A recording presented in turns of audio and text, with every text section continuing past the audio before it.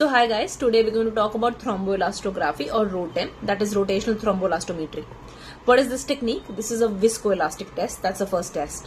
So this test can measure the coagulation and fibrinolysis at one go. So basically very commonly used in patients in cardiothoracic surgeries or trauma patients, massive transfusion protocols. So uh, normally there is a different um, parameters in ROTEM and TEG, but what you need to know is that there is a standard parameters which you should remember.